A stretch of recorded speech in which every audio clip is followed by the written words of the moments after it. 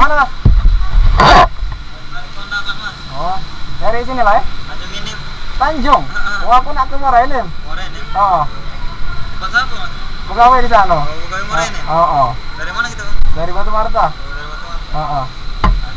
Iya. Sama siapa? Dia. Iya ada. Oh, kaki ke sana berarti. Iya. Oh, aku duluan ya. Iya. Ah. Tanjung. Oh, kenal sama Dimas. Dimas Dimas. Ah, ah. Oh, iya iya iya. Kemarin ketemu aku iya. Di siapa lo? Okta. Okta. Oh iya. Oh, ini minta nomor. Ah, nomor aku ya kalau nggak ada.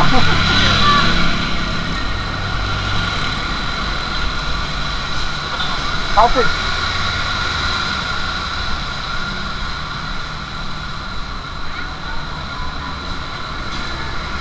Lima tujuh, delapan delapan, tujuh sembilan, sembilan delapan, satu delapan. Oh, Dari klub mana gitu bang? Apa? Dari klub mana? Oh ya, independen ya. DWN ya.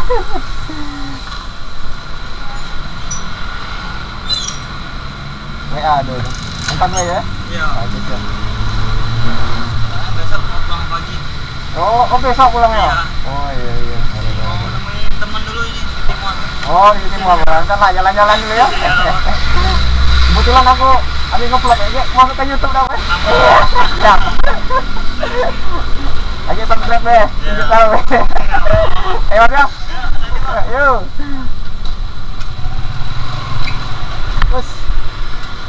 Ayo.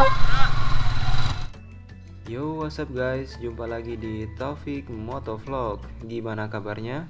Semoga kalian semua sehat-sehat selalu ya dan nggak kekurangan suatu hal apa pun. Amin. Oh ya guys, video di depan tadi merupakan momen di mana saya bertemu dengan bikers asal Tanjung Inim. Ya maaf kalau suaranya tadi agak berisik dan nggak jelas. Karena tadi saya nggak pakai mic guys. Sebenarnya hari ini saya nggak pingin bahas apa-apa sih. Ya saya cuman nyalain kamera aja dan nggak ada persiapan untuk nyolokin mic ya jadi begitu deh hasilnya. Itu tadi namanya Bro Okta. Dia bikers asal Tanjung Inim. Tanjung Inim itu adalah daerah yang akan saya lewati nanti guys. Kira-kira Tanjung Inim ke Muara Inim itu setengah jam lah kurang lebih. Jadi katanya tadi dia itu dari kondangan di kota Batu Raja dan besok mau pulang. Ya hari ini mau ke City Mall dulu katanya mau jalan-jalan dulu.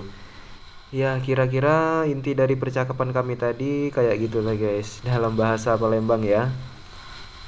Atau ada nih orang Palembang yang lagi nonton silahkan komen di bawah ya. Salam wong kito galo saat ini saya lagi ada di jalan lintas Sumatera guys. Ya bisa dilihat ya pemandangannya. Uh banyak bukit-bukit di kiri kanan sawah tapi sudah dipanen guys padinya. Ya ini kalau sore ini tambah bagus pemandangannya.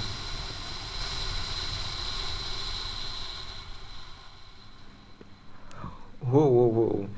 Jalannya mulai gerinjil-gerinjil lagi ya mulai ke depan itu jalannya lagi diperbaiki guys jadi banyak jalan yang di apa tuh namanya diiris-iris ya nah kayak gini nih ah Jadi harus tetap waspada, ngebut ya boleh asal tetap kontrol ya. Jalan seperti itu tadi bisa menghilangkan keseimbangan kita guys. Saya pernah waktu itu perjalanan malam hampir aja jatuh karena jalan yang diiris kayak gitu tadi guys. Jadi ban saya itu cuma mengenai pinggiran dari lubang itu dan motor saya kehilangan keseimbangan guys. Jadi hampir aja waktu itu terjadi ya musibah alhamdulillah ya nggak terjadi apa-apa ya intinya gimana ya tangan kita itu harus tetap kuat lah di setang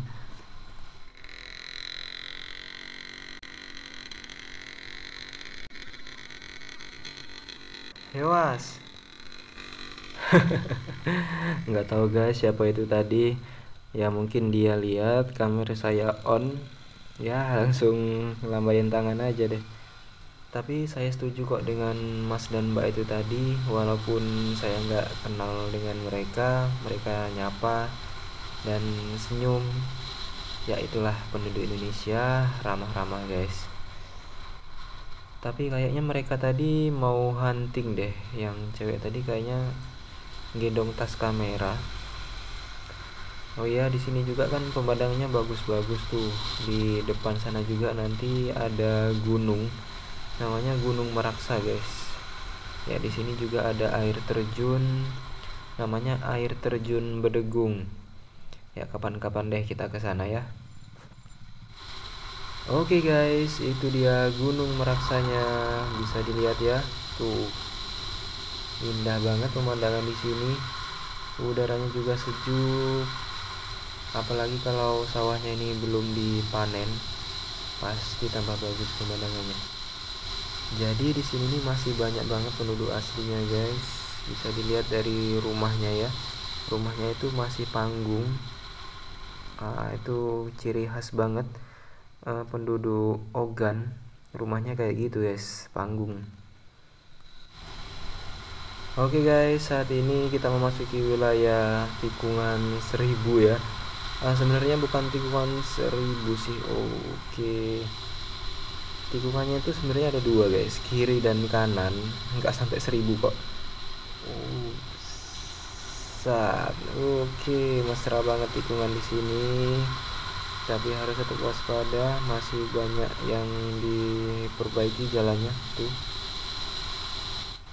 jadi di sebelah kiri dan kanan saya ini bukan sekedar hutan guys ini adalah kebun yaitu kebun duku dan durian jadi kalau musim duku dan durian di sini banyak banget yang jualan. Ya, ini sebelah kiri ini ya itu adalah tempat berjualan kalau lagi musim durian dan duku ya. Ya, bukan cuma kebun sih. Di sebelah kanan saya itu ada jurang, guys. Bisa dilihat ya. Tuh. Ah, kalau dilihat secara langsung tuh mengerikan, guys dalam banget mungkin ratusan meter dalamnya tapi seberapa pun dalamnya jurang itu nggak akan bisa memisahkan aku dan dia kok iya iya iya iya iya ada ngomong apaan lo topik topik Oke guys daripada pembicaraan kita makin gak jelas Mungkin saya akhiri ya vlog kali ini Terima kasih buat yang sudah menonton dari awal sampai akhir video ini. Buat kalian yang baru bergabung di channel ini, jangan lupa klik tombol subscribe-nya guys. Like dan komentar juga jika kalian punya kritik dan saran ataupun apalah pertanyaan untuk membangun channel ini agar lebih baik dan maju lagi ke depannya guys. Oke, sampai jumpa di video selanjutnya.